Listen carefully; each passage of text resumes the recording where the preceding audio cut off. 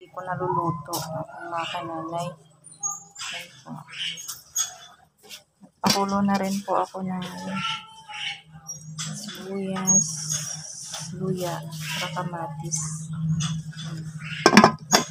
Kukuluin ko muna natin yan.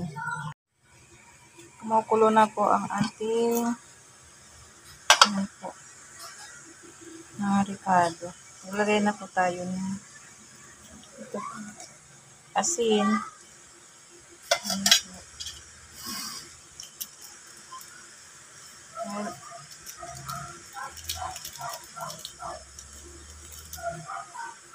Ayan pag maglagay po tayo ng mga ricado, kumukulo po ang ating sabaw.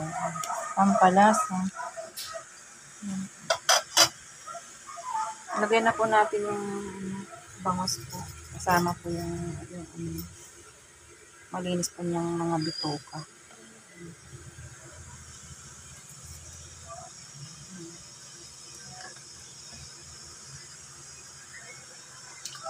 Bangos.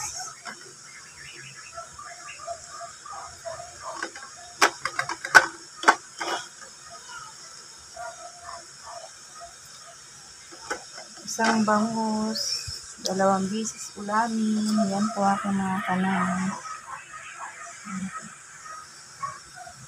Habang pinapakulo po natin siya, kukuha po ako ng ano, talbos po ng kamote. Takpan muna natin siya. Yan ba mga kananay, kukuha po tayo ng talbos. Yan po. Yan po mga kananay, nakakuha na po tayo. Tama na po yan. Yan po, ibabad po na muna natin itong talbos. Para matanggal po ang kanyang ano, dumi or alikabok. Tingnan po natin. Yan, kumukulo na, kulong-kulo na habang kumukuha po tayo ng kamuti. Yan po. Lagay na po tayo ng pang-asin. Ayaw mo lang matigas po. Yan po. Kulong-kulo na siya. Tikman po natin kung anong kulong.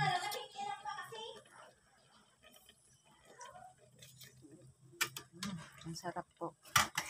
Lalagay na po natin yun ang ating talbos.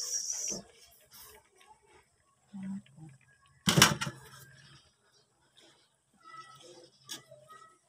Na with talbos.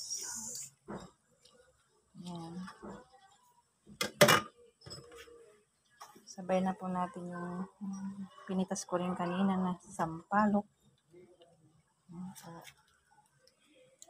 Tapos lagay po na natin yung ano, sili. Wala na pong kasama yun natin mga kanalay. Pakukulan lang po natin yan. At pwede na po. Tapan po na muna natin.